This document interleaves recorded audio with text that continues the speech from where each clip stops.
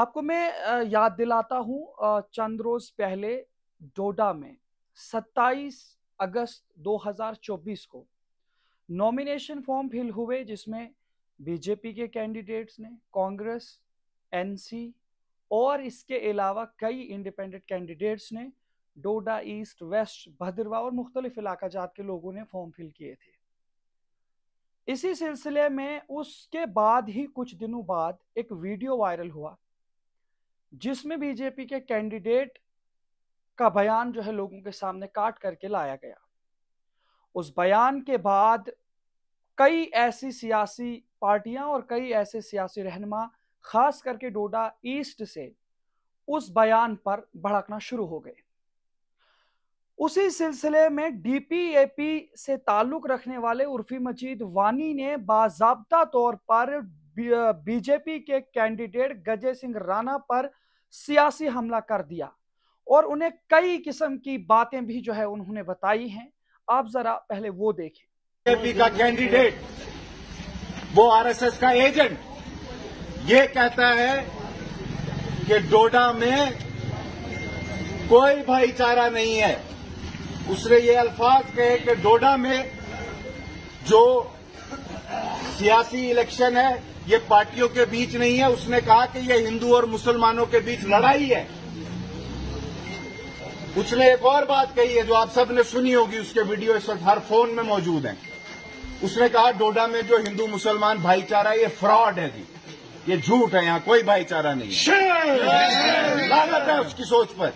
तो नाजरीन, इस बयान के मंजर आम पर आने के बाद एक सियासी तहलका मच गया और कई इस तरीके के बयान पलटवार में दागे गए।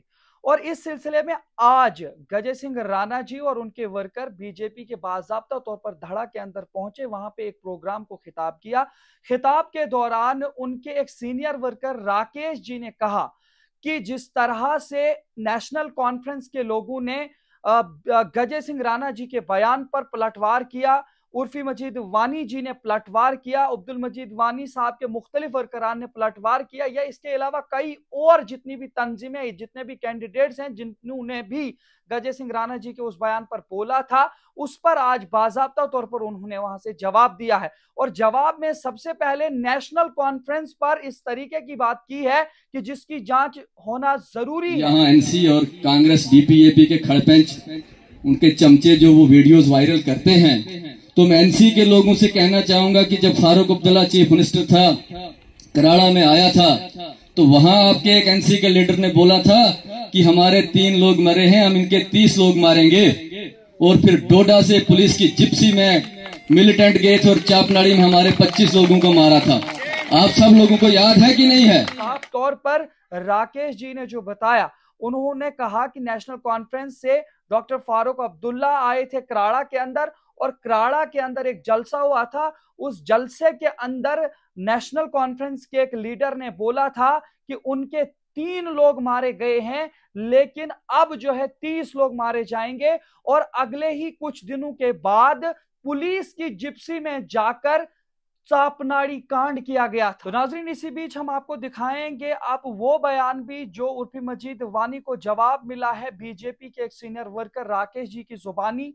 आप उस बयान को भी सुने, उन्होंने साफ़ तौर पर निशाना बनाया है अब्दुल मजीद वानी साहब के उस बयान को, जिसमें उन्होंने कहा था कि कुछ ऐसे मुलाजिम हैं जो लोगों को तंग करते हैं कि आप लोग बीजेपी ज्वाइन करें, और उन्होंने बाजाबता तौर पर कहा था कि अगर उनकी सरकार आएगी तो ऐसे कई लोगों को जो है, वो गाड़ देंगे ज़िंदा। और उस सबब के हवाले से जो है, राकेश जी ने आज जवाब दिया है। हम आपको, अब्दुल मजीद वानी साहब का वो बयान भी सुनाएँगे, और राकेश जी ने जो आज जवाब दिया है उनको, वो भी आप तक पहुँचाने की कोशिश करें यहाँ कुछ लोग हैं, जो सिर्फ़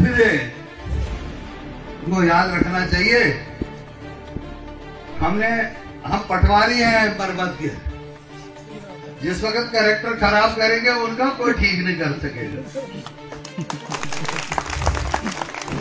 जिस जगह की कोई डिपार्टमेंट है, वहाँ शिकायतें आनी चाहिए कि वो जनाब, वो पकड़ते हैं, पर्चा देते हैं, फिर लेते हैं, फिर कहते हैं बीजेपी ज्वाइन करो। जिस दिन हमारी हुकूमत आए, खुदा गवाह है आज आप लोगों के सामने कह रहा हूँ, ज़िंदा उसको मारूँगा। दफन करूँगा ज़िंदा। उसके पीछे हिस्ट्री लिख के रखूँगा। उसने कितने कत्ल किए हैं? उसने कितने काम किए हैं? कितनी मिलिटेंसी उसने तैयार की है? वो मेरे पास सारा रिकॉर्ड पड़ा है। हम यहाँ बात ऐसे नहीं करेंगे। बात अधिक से करेंगे और विद एविडेंस करेंगे। उर्फी वानी को भी मैं देख रहा था, वो भी बोल रहे थे जी उन्होंने ऐसा बोला, उन्होंने वैसा बोला। मजीद वानी ने यहाँ धड़ा में 2014 में बोला था कि शक्ति परिहार को हम यहाँ से डब्बे में पैक करके वापस भेजेंगे। सुना था आप लोगों के नहीं? यही आपके धड़ा में बोला था।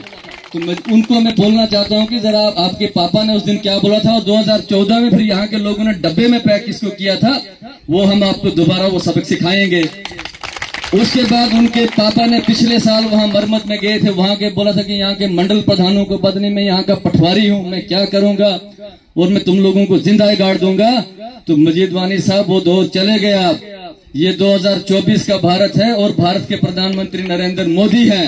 इन ख्वाबों में नहीं रहना कि हमारे किसी भी वर्कर का या कार्यकर्ता का बाल बांका हुआ तो उसकी आपको वो कीमत चुकानी पड़ेगी जो आपने सपने में भी नहीं सोची होगी। नाजरीन, ये थे कुछ ऐसे नए बयानात जो अब निकल कर के सामने आ रहे हैं सियासी सरगर्मियों के हवाले से। एक पार्टी दूसरी पार्टी को निशाना साध रही है और एक कैंडिडेट या एक लीडर दूसरे लीडर पर निशाना जमा रहा है और पंजा आजमाई कर रहे हैं इलेक्शन जीतने की। लेकिन आपको इसमें होशियार रहना होगा। हिंदुस्तान का एक जिम्मेदार नागरिक होने की हैसियत से आप सब लोगों को इस पूरे इलेक्शन के अंदर अमन सुकून वाला माहौल पैदा करना होगा। एक जिम्मेदार सहाफ़ी होने की हैसियत से आप तक ये सारे बयान पहुँचाने का मकसद सिर्फ़ एक है कि आप अपना कैंडिडेट पाँच साल के लिए बेहतर चुन सकें, आपको अच्छी राह मिल सके और आप एक ऐसी दिशा में जा सकें जहाँ से आपको पाँच साल के लिए एक ऐसा नुमाइंदा मिले जो आपकी कॉन्स्टिट्युएंसी के अंदर तरक्की कर सके।